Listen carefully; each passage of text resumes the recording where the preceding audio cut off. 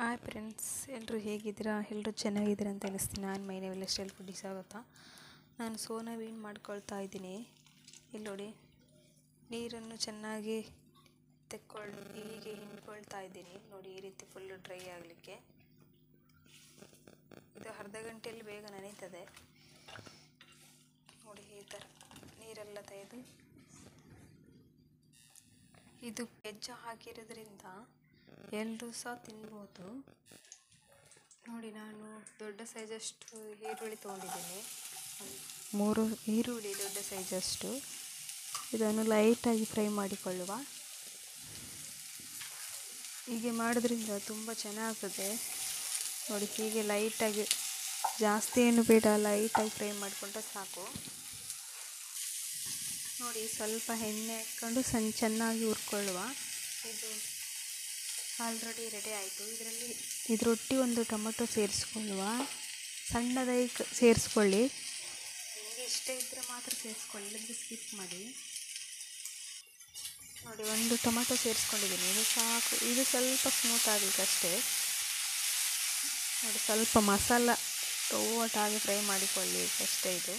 ಈಗ ಕೊತ್ತಂಬರಿ ಸ್ವಲ್ಪ ಪುದೀನ ಸೇರಿಸ್ಕೊಳ್ತೀನಿ. ಪುದೀನ ಸ್ವಲ್ಪ ಕೊತ್ತಂಬರಿ ಸೇರಿಸ್ಕೊಂಡಿದ್ದೇನೆ ನೀವು ಕೊತ್ತಂಬರಿ ಇಲ್ಲಾಂದರೆ ಸಹ ಪುದೀನ ಸಹ ಸೇರಿಸ್ಕೊಳ್ಬೋದು ಸ್ವಲ್ಪ ಪರಿಮಳ ಜಾಸ್ತಿ ಆಗ್ತದೆ. ಸ್ವಲ್ಪ ಟೇಸ್ಟ್ ಚೆನ್ನಾಗಿರ್ತದೆ ಇದರಿಂದ. ನೋಡಿ, ಇದು ಸಾಕು ಇಷ್ಟು ಬ್ರೌನ್ ಕಲರಲ್ಲಿ ಎಲ್ಲ ಚೆನ್ನಾಗಿ ಫ್ರೈ ಆಗಿದೆ. ಈಗ ಮಸಾಲ, ಇದು ಎಲ್ಲ ತಣ್ಣಗಾಗಲಿ. ನೋಡಿ, ಇದರಲ್ಲಿ ಮಸಾಲ ತೆಕ್ಕೊಳ್ತೇನೆ ನಾನಿಲ್ಲಿ ಒಂದು ನಿಮಗೆ ಖಾರ ಎಷ್ಟು ಬೇಕಷ್ಟು ಸೇರಿಸ್ಕೊಳ್ಳಿ. ನಾನೊಂದು ಎರಡು ಸ್ಪೂನಷ್ಟು ಖಾರ ಸೇರಿಸ್ಕೊಂಡಿದ್ದೇನೆ. ಹಾಗೂ ಒಂದು ಸ್ಪೂನ್ ಅರಿಶಿನ. ಹಾಗೂ ಒಂದು ಎರಡು ಸ್ಪೂನಷ್ಟು ಮೊಸರು ಸೇರಿಸ್ಕೊಳ್ತೇನೆ. ನೋಡಿ, ಇದು ಚೆನ್ನಾಗಿ ಮಿಕ್ಸ್ ಮಾಡಿಕೊಳ್ಳುವ. ಮಸಾಲೆ ಎಲ್ಲ ಚೆನ್ನಾಗಿ ಇದಕ್ಕೆ ತೆಗೆದುಕೊಳ್ಳಿಲಿ ಸೇರಿಸ್ಕೊಂಡಿಲ್ಲ, ಉಪ್ಪು ಸೇರಿಸ್ಕೊಳ್ತೇನೆ. ನೋಡಿ ಮಸಾಲ ಕಲಸಿಟ್ಟಿದ್ದೇನೆ. ಇದಕ್ಕೆ ನೋಡಿ ಮಸಾಲ ತಣ್ಣಗಾಗಿದೆ. ಇದನ್ನು ಮಿಕ್ಸಲ್ಲಿ ಪೇಸ್ಟ್ ಮಾಡಿಕೊಳ್ಳುವ.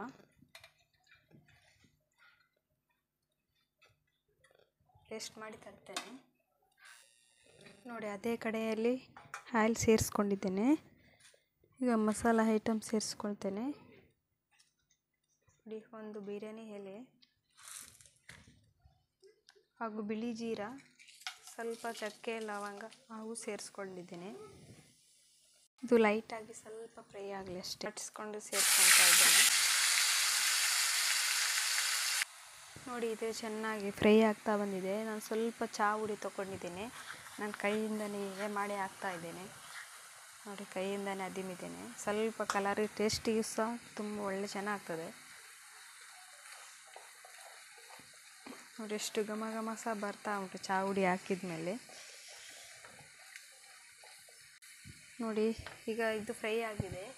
ಇದಕ್ಕೆ ಒಂದು ಸ್ಪೂನಷ್ಟು ಧನಿಯಲ್ ಪೌಡರ್ ಸೇರಿಸ್ಕೊಂಡಿದ್ದೇನೆ. ಇದನ್ನು ಸ್ವಲ್ಪ ಕಲಸಿಕೊಳ್ಳುವ.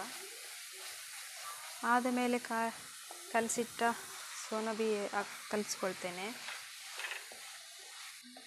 ನೋಡಿ, ಮಸಾಲೆಲ್ಲ ಚೆನ್ನಾಗಿ ಇದು ಇದರಲ್ಲಿ ಫ್ರೈ ಆಗಲಿಕ್ಕೆ ನೀರೆಂತ ಸೇರಿಸಲಿಲ್ಲ. ಒಂದು ಇದು ಅರ್ಧ ಗಂಟೆ ಇದರಲ್ಲಿ ಫ್ರೈ ಆದರೆ ಸಾಕು. ನೋಡಿ ಎಷ್ಟು ಘಮ ಘಮ ಪರಿಮಳ ಸಹ ಬರ್ತಾ ಉಂಟು. ಒಮ್ಮೆ ಈ ರೀತಿ ಟ್ರೈ ಮಾಡಿ. ನೋಡಿ ಇದು ಎಷ್ಟು, ನಾನು ಹಾಗೆ ಬಿಟ್ಟಿದ್ದೆ ಒಂದು ಐದು ನಿಮಿಷ. ಇದು ನೋಡಿ ಚೆನ್ನಾಗಿ ಎಲ್ಲ ಮಸಾಲೆ ಏರ್ಕೊಂಡಿದೆ. ಈಗ ಸ್ವಲ್ಪ ನೀರನ್ನು ಸೇರಿಸ್ಕೊಳ್ತೇನೆ.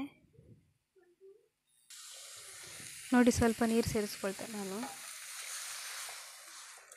ನಿಮಗೆ ತಿಕ್ಕು, ಬೇಕಂದರೆ ತಿಕ್ಕಾಗಿ ಸೇರಿಸ್ಕೊಳ್ಳಿ. ಸ್ವಲ್ಪ ಗ್ರೇವಿ ರೀತಿ ಆದರೆ ಸಹ ಆಗ್ತದೆ. ಇದು ಬೇಗನೆ ಮಾಡಿ ತಿಂದರೆ ಇನ್ನೂ ತುಂಬ ಚೆನ್ನಾಗಿರ್ತದೆ ಬಿಸಿ ಬಿಸಿಯಾಗಿ. ಇಲ್ಲಾಂದರೆ ಸಹ ಸ್ವಲ್ಪ ತಿಕ್ಕಾಗ್ತದೆ ಇದು ಬಿಟ್ಟರೆ ನೋಡಿ ಒಮ್ಮೆ ಈ ರೀತಿ ಟ್ರೈ ಮಾಡಿ. ಇನ್ನು ಸ್ವಲ್ಪ ನೀರು ಸೇರಿಸ್ಕೊಳ್ತೇನೆ.